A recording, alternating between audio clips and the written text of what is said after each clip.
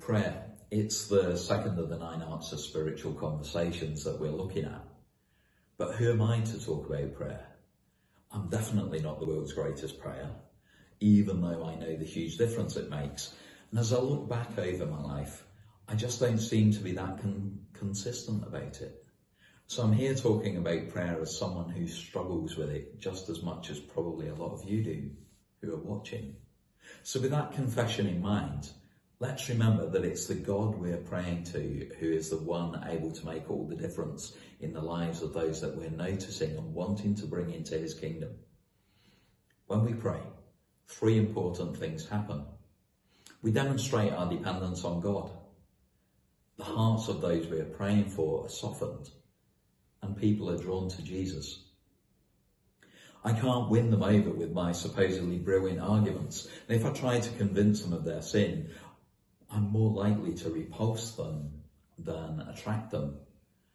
But God is already at work and he has promised that his Holy Spirit will guide us into all truth. And Jesus said that his Father will draw people to him. So our prayers link us into that process that's already going on. God already wants to have all people as part of his family. And he's inviting us to join in that process of bringing them in. And prayer is one of the great ways we do so. Whether it's family, friends, colleagues, neighbours, or someone else we've noticed, before we talk to them about God, we need to talk to God about them. Then we can join in with what God is already doing in their lives. There's a guy in my corps who says that he only prays once a day. And he tells anyone who'll listen that that prayer starts when he gets up in the morning and it only finishes when he goes to sleep at night. Making our prayer just as natural as the ongoing conversation with God that he has is really going to help in any of our witness and evangelism. Because it's as we're constantly asking God for direction and prompts um, bringing the people and things we notice before him, that he will tell us how to join in with what he's already doing. So perhaps in that process, there are three key questions. A where, a what, and a how. God, where are you already at work? God, what does this person need right now? And God, how can I invite this person to experience Jesus in a fresh way? Part of the adventure of God's kingdom is discovering where God is at work and joining him on his mission to reconcile people to himself. Since God is already at work all around us, we can ask him to show us where he wants us to take part in his great activity of love and grace. This kind of secret prayer can be the first step in discovering what God is up to, recognizing where he's at work and joining him in it. That secret prayer approach gives us all an opportunity to experience God more and to take part in his work. Doesn't matter whether we're really outgoing or, or incredibly shy. That secret prayer allows us to find out what God is doing and then join in with it even if the people we're praying for don't realize a thing. Remember, even Jesus only did what he saw his Father God doing. So we're definitely going to get on much better if we follow his example than trying to do our own thing. So remember to ask God, where are you already at work? Because when we ask him where he's already working, we get to reach out to others with God, not just for God. It's not just about knowing where God is at work, it's also about knowing what the person that God is working in needs right now. So the question, what God, what does this person need right now, is, is a really important one also. Not only does God know exactly what he's up to in each person, he knows each person's heart and exactly what she or he needs at this very moment. Psalm 139 reminds us of that when it speaks of how intimately and completely God knows us. Shockingly, it's quite probable that what the person we're praying for doesn't need right now is a 10 point lecture on the hows and wherefores of the path to salvation.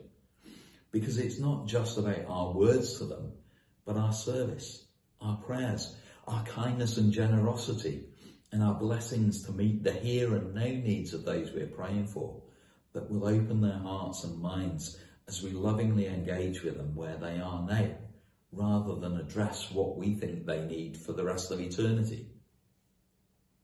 We're far more likely to get a positive and open response from them when the time does come to have that deeper conversation if we engage appropriately with what they need in the many no moments during that journey together.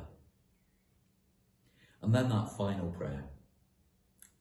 God, how can I invite this person to experience Jesus in a fresh way? Not just using the same old invitations that we always have done, but inviting them in ways that are uniquely appropriate to them. After all, a lot of people are, have some pretty ambivalent views about Christians and church, so we need to be open to God's leading as we understand how we can help them discover God's activity and Jesus' presence in their lives today. When you ask God these few simple questions about people, where, what, and how, you get to participate in his work as he draws them to himself. And this type of intentional prayer for people who are journeying towards faith opens up the door for natural interactions that point to God. And by keeping our prayers personal, purposeful, and a priority in this way, we're inviting God to use us to minister directly to others in a profound and powerful way. So here are a couple of questions to consider and a couple of things to practice.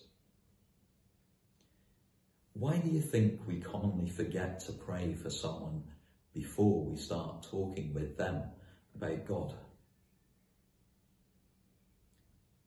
Think of a time when you were moved to pray for an unbelieving family member, friend, or a stranger. What caused you to start praying? And how has prayer changed the way you relate to that person? And a couple of practices. Set a challenging but attainable goal to pray for someone or some people who don't yet have a relationship with God that he has helped you notice. You might want to share the names with someone else so that they can pray alongside you and hold you accountable. And then perhaps over the next week, commit at least five minutes each day to ask those three questions about someone on your list. God, where are you already at work in this person's life? What does he or she need right now? And how can I invite this person to experience Jesus in a fresh way? And feel free to let us know your thoughts on the on these questions and also how you're getting on and what God is doing in and through your prayers. See you next week. God bless.